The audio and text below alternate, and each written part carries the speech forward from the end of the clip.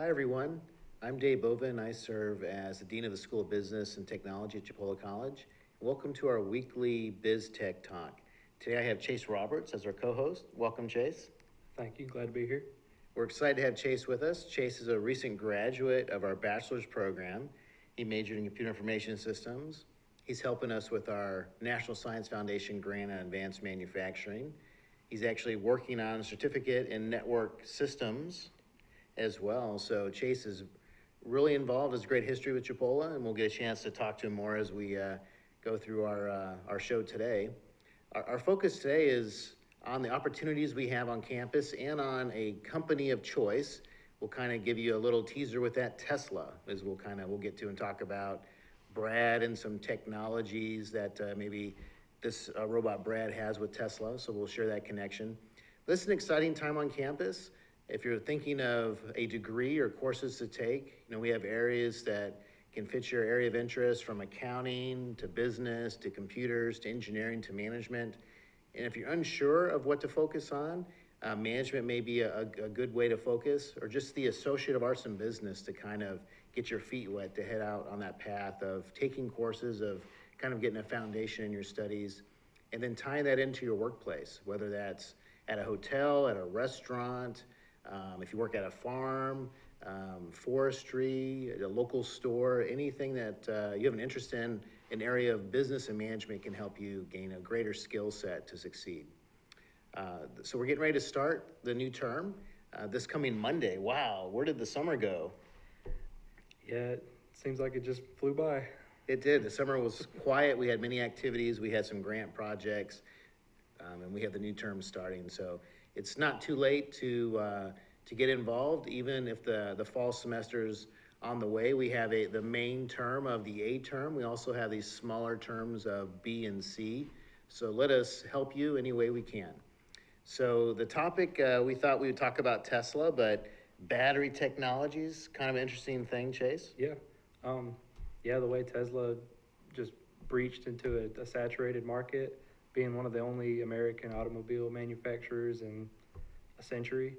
Um, they've made huge strides, uh, changing from you know traditional combustion engines to mainly electric cars.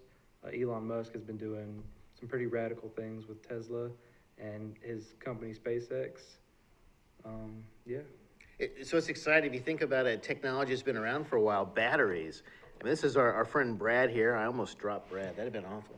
So Brad's not on right now, but Brad is an autonomous robot that we build out of Legos, and he runs on batteries.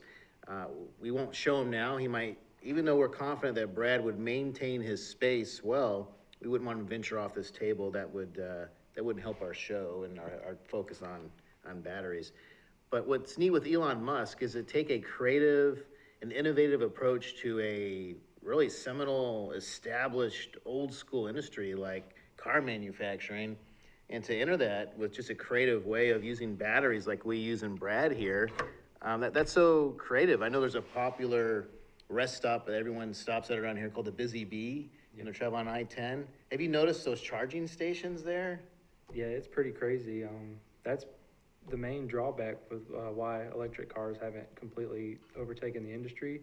But companies like China, they are actually pushing manufacturers to develop these electric car rest stops just to help push out the electric car movement.